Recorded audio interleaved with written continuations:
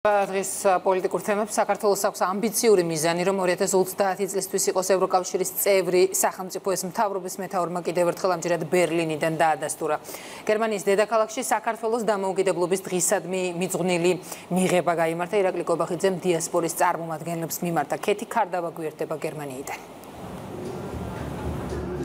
საქართველოს დღეს ზეიმობს დამოუკიდებლობას და თავისუფლებას ის რაც ყველაზე რთულად მოსაპოვებელია და არანაკლებ ძნელად შესანარჩუნებელი ამიტომ საქართველოს დღეს გერმანიაში მოსული სტუმრები ამ ღონისძიებაზე წარმატებებს უსურვებენ და ამბობენ რომ ისინი იდგებიან ყოველთვის ჩვენი ქვეყნის გვერდით.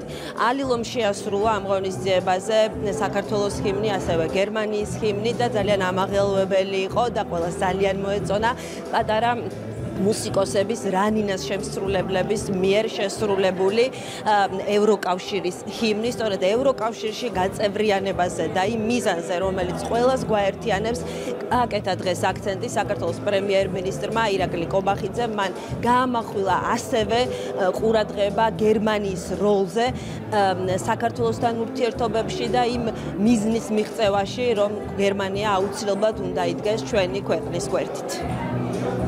90-იანი წლებიდან გერმანიამ განსაკუთრებული წვლილი შეიტანა ქართული სახელმწიფოებრიობის განვითარებაში. 4 წლის განმავლობაში კიდევ უფრო მძაფრად შევიგრძენით თუ რამდენად მნიშვნელოვანია შვიდობა და რამდენად მნიშვნელოვანია სახელმწიფოებრივი დამოუკიდებლობა, სახელმწიფო სუვერენიტეტი.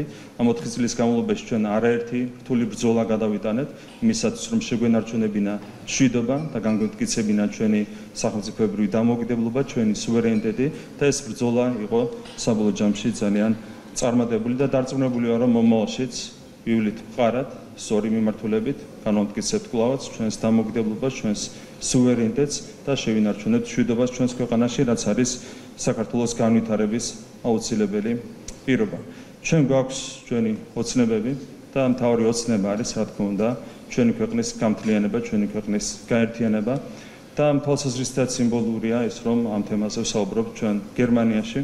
გერმანია არის სწორედ იმის სიმბოლო, თუ როგორ შეიძლება მოთმინებით გაამთლიანო საკუთარი ქვეყანა. მოთმინებით ელოდებოდა აცილების მანძილზე გერმანია გაერთიანებას, გამთლიანებას და საბოლოო ჯამში 1989 წელს გერმანელებს ეს უსნება აუხდათ. ჩვენს გვაქვს სტრატეგიული მოთმინების პოლიტიკა და დარწმუნებული ვართ, რომ ჩვენი პოლიტიკით საბოლოო ჯამში იქნება შესაძლებელი საქართველოს ოცნების აღდგენა, ქართველების ოცნების აღდგენა და საქართველოს იქნება ერთიანი და მთლიანი სახელმწიფო. ჩვენ გვაქვს ასევე ძალიან მნიშვნელოვანი ეროვნული ამოცანა, ეს არის ევროკავშირში გაწევრიანება.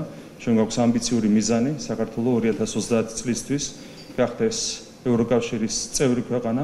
დღეს ჩვენმა ბავშვებმა არაჩვეულებრივად შეასრულეს ევროკავშირის ჰიმნი და მე დარწმუნებული ვარ, რომ ამ ბავშვების მომავალი არის ევროკავშირში ეს ბავშვები იცხოვრებენ აუცილებლად ევროკავშირში ეს ბავშვები იცხოვრებენ ერთიან საქართველოსში, რომელიც იქნება ევროკავშირის წევრი ქვეყანა და ეს მოხდება ძალიან მალე. კიდევ ერთხელ ვიტყვი, რომ ამ ყველაფერში რა თქმა უნდა, განსაკუთრებული მნიშვნელობა აქვს ჩვენი მეგობრების ხარდაჭერას, განსაკუთრებული მნიშვნელობა აქვს ჩვენი გერმანელი მეგობრების ხარდაჭერას და კიდევ ერთხელ აღნიშნავ, რომ ჩვენთვის განსაკუთრებით მნიშვნელოვანია დღეს ჩვენს მეგობრებთან ერთად ვისაუბროთ საქართველოს დამოუკიდებლობაზე და ერთად აღნიშნოთ ეს მნიშვნელოვანი დღე. ჩვენი და ჩვენი შვილების მომავალი ევროკავშირშია და მიზანია რომ ჩვენი ეროვნული დროშა ფრიალებდეს როგორც სრულუფლებიანი წევრი ქვეყნის დროშა ევროკავშირში და ამას დღეს ყველამ გაუსვა ხაზი ღონისძიებაზე მოსულმა სტუმრებმა და მასპინძლებმა ამბობდნენ სტუმრები რომ ძალიან ბევრი მიზეზი უნდა არსებობდეს იმისათვის რომ საქართველოს მიულოცონ წარმატება და ამას ელის ევროპაში ყველა ჩვენ ვესაუბრეთ საქართველოს საგარეო საქმეთა მინისტრს ასევე დიპლომატებს ამბასადორი არის შემდეგ ქართველი დიპლომატები რომლებიც აკრედიტირებულები არიან ევროკავშირის წევრ ქვეყნებში და გუშინ ესაუბრნენ ისინი საქართველოს პრემიერ-მინისტრული შემადგენლობით ესწრებოდნენ ამ პოლისციებას გერმანია ყოველთვის იყო ძალიან აქტიურად ჩართული საქართველოს განვითარებაში დამოუკიდებლობის აღდგენის შემდეგ გერმანიას ყოველთვის ჰქონდა განსაკუთრებული როლი ჩვენი ქვეყნის განვითარების საქმეში, ყოველთვის იყო ძლიერი მხარდამჭერი ჩვენი ტერიტორიული მთლიანობის და სუვერენიტეტის და ეხლა უკვე ბოლო წლებში გერმანიამ გამოიჩინა განსაკუთრებული ასე ვთქვათ ძალისხმევა იმისთვის რომ საქართველოს გახდეს სრულფასოვანი წევრი ევროპული ოჯახის. ჩვენ ყოველთვის უჭერდით მხარს საქართველოს დამოუკიდებლობას. 200 წლის წინ დაიწყეთ საქართველოსთან ურთიერთობა და 20-იან წლებში ჩვენ ვიყავით საქართველოს მხარდამჭერები.